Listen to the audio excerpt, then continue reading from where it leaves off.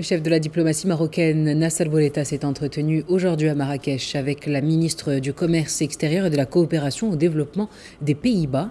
Leurs discussions ont porté sur les différentes questions, notamment le renforcement des relations de coopération entre le Maroc et les Pays-Bas. La ministre hollandaise a fait part de la disposition de son pays à contribuer aux efforts de reconstruction consentis par le Maroc dans les régions sinistrées suite au séisme.